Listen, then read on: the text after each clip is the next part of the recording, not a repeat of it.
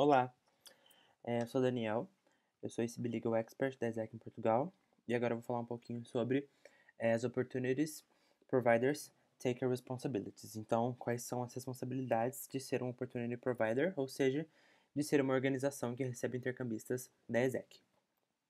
Bem, primeira coisa, eu vou falar agora um pouco sobre os critérios para se tornar um Opportunity Provider. Então, a primeira coisa é ser legalmente registrada é, no território de operação, então é muito importante que a organização seja de acordo com a legislação regente daquele país, daquele território. É importante também que é, essa organização ela respeite e é, suporte os valores da ESEC, então que ela conheça os valores da ESEC e para o que a ESEC existe e qual é o objetivo final dela. E também é importante que essa, essa organização ela tenha como objetivo trazer um impacto positivo na sociedade, na comunidade, através das suas atividades, junto com o intercambista que uh, vai atuar nela. Então, seja pelo seu tipo de projeto, pela atividade que ela faz, ou pelo, pelo setor que ela atinge. Uh, é importante também que ela tenha como objetivo é, envolver o EP no seu crescimento tanto econômico, quanto profissional, quanto uh, de posicionamento, seja lá qual for uh, o objetivo dessa organização. Então, que ela inclua o intercambista em todas as suas, em todas as suas atividades é, referentes à job description, para que ela utilize o intercambista como meio de crescimento e empoderamento na sua organização. E que não simplesmente ela traga esse intercambista e que ele seja apenas uma pessoa a mais é, ou se não uma pessoa excluída da, das conquistas dessa organização. Então, é muito importante também que ela providencie é, um ambiente de trabalho adequado para garantir que esse EP, que, que esse intercambista, ele não seja discriminado por nenhum tipo de raça, cor, gênero, orientação sexual, credo e também religião, e, ou, ou também tipo de cultura diferente ou algum tipo de etnia diferente. Então, é muito importante que é, exista um ambiente propício para esse desenvolvimento desse intercambista. Tudo bem. E agora um pouco sobre é, o que impede uma organização, o que impede uma opportunity provider de se aplicar para um intercâmbio, de se aplicar para ser uma parceira da ESEC. Então, se por algum motivo essa, essa organização ela não vai de encontro com os critérios da XPP. Se ela não concorda com a XPP, ela não pode se aplicar, por causa que, como vocês já sabem, a XPP é, é a regulação máxima que rege os intercâmbios da ESEC. Então, ela é o mínimo para que hum, uma organização possa tornar parceira da ESEC. É, que se essa organização já teve contato com a ESEC e ela violou algum dos princípios da XPP, ela também não pode se aplicar novamente, assim como o EP. E também é, se ela não segue ou não está alinhada com o código de éticas e o Global ER Principle, que são é, documentos importantes para que é, entenda quais são ah, ah, os pontos mais importantes, tanto de ética quanto de ER, em relação à ESEC, então que ela saiba qual é o seu papel. Bem, e agora um pouco sobre as responsabilidades, então, dos Opportunity Providers. Primeiro, sobre uh, em qualquer estágio é, em que se encontre o processo de um Opportunity Provider. Então, uh, ele tem é, a responsabilidade, ele deve receber todo o suporte da ESEC em caso de qualquer tipo de problema ou de qualquer reclamação contra o EP em relação a algum tipo de violação da política da, da XPP e também é, em relação a qualquer tipo de quebra de código interno dessa empresa, dessa corporação, dessa ONG, é, por algum tipo de conduta hum, ética, religiosa ou cultural. Então, que ela receba todo o suporte para que isso tudo seja investigado pela ESEC, juntamente à organização.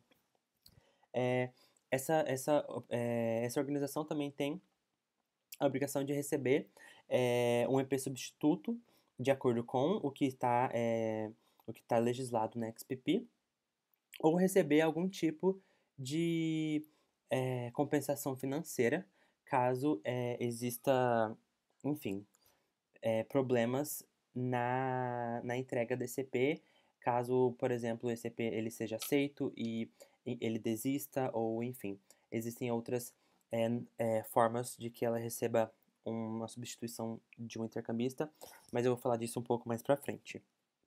É, ela tem a responsabilidade também de garantir que o EP ele seja legalmente de acordo com as leis trabalhistas daquele, é, daquele território, daquele país. Não é só uma obrigação do EP, mas é uma obrigação também da, dessa organização, porque ela que está contratando, ela que está é, utilizando esse intercambista como voluntário, como profissional, então ela também se torna responsável legalmente por esse EP, e não somente o EP e a ESEC.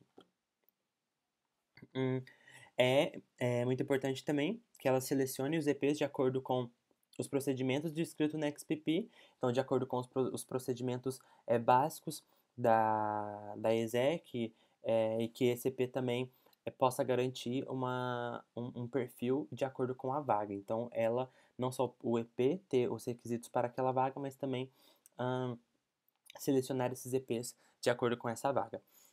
E, e claro que cada organização, cada, uh, cada opportunity provider tem o seu uh, tipo de seleção interna e ela também pode uh, utilizar desses critérios para selecionar esses EPs.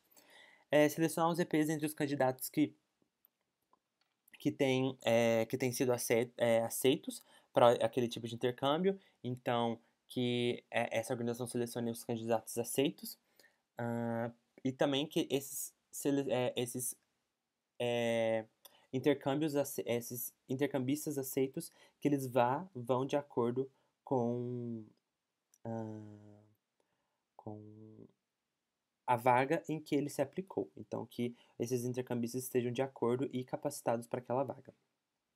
É, a Opportunity Provider também ela deve receber uma completa informação sobre todos os candidatos. Então, que qualquer coisa que qualquer coisa, qualquer informação que ela necessitar para adicionar na no processo seletivo daquele candidato, ela pode exigir. Então, e todas essas é, essas informações devem respeitar regula é, as regulamentações daquele país porque é, acaba que, enfim, o intercambista ele vai para aquele país, então essas informações devem respeitar também as leis daquele país. Ela deve também entrar em contato diretamente com o candidato para uma entrevista ou para algum tipo de preenchimento de uh, formulário, algum tipo de é, necessidade de vídeo e ou algum outro tipo de processo seletivo. Muitas vezes isso acontece principalmente com os produtos de GT e GE, porque geralmente em GV quem faz essa intervenção é a, a própria a IESEC. Mas, uh, mesmo em GV, a entidade, a ONG, a escola, a organização, ela pode entrar em contato sim, exigindo algum tipo de, enfim, é, parte de processo seletivo.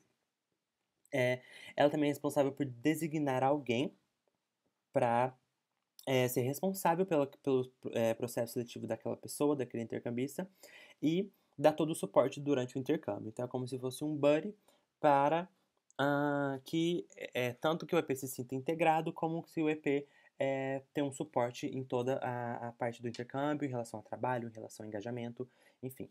É, essa organização também é responsável por isso.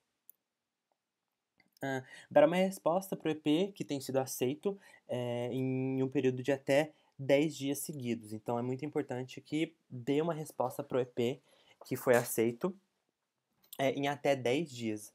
É, não pode passar disso, e isso é muito importante também para garantir uma, um processo mais rápido e menos burocrático. É, a Opportunity Provider também tem a responsabilidade de passar feedbacks é, tanto para a ESEC quanto para os candidatos, caso, hum, é, caso haja necessidade, mas principalmente é, caso os EPs sejam rejeitados. Ou seja, uh, se mais de três candidatos forem rejeitados e eles possuem critérios é, descritos na, na oportunidade para aquela organização, então se eles estão capacitados teoricamente para aquela, é, aquela vaga, é importante e necessário que a organização passe um feedback do porquê não aceitaram aquelas três pessoas. E assim, se isso não for. Se não for. Se isso não acontecer, a ESEC, então, a, a ESEC pode é, determinar se ela vai continuar com aquela, com aquela parceria, se ela vai continuar com aquela Opportunity Provider. Porque é muito importante que isso aconteça para garantir um, uma democracia entre as vagas e entre os, os intercambistas. Bem, ela pode também é, requisitar qualquer tipo de contrato é, suplementar do EP, claro que de acordo com as leis uh, trabalhistas nacionais. Então, é, claro que não mudando nenhum tipo de informação, nenhum tipo de é, benefício, ou adicionando ou é, retirando algum tipo de benefício daquele P ou, algum tipo, é, ou alguma situação de trabalho. Somente apenas como um acordo suplementar ou algo que talvez tenha faltado ou que o, aquele país exige. Ela pode sim solicitar isso. Uh, é, a Opportunity Provider também ela pode requisitar outro EP da mesma entidade que, esses, que é, o EP tenha vindo, caso o EP rejeite o intercâmbio após ser aceito. Então, se o intercambista for aceito e ele rejeita, a Opportunity Provider pode exigir um intercambista daquela mesma entidade.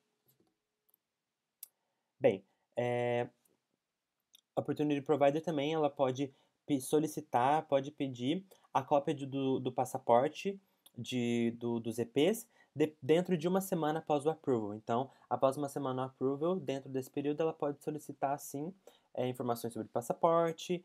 É, claro que em diferentes situações, situações em que o passaporte talvez ele precisa é, entrar com algum tipo de solicitação no governo daquele país, é, tanto entrando em, tanto entrando de acordo com o EP quanto com a entidade que está é, que irá receber esse intercambista.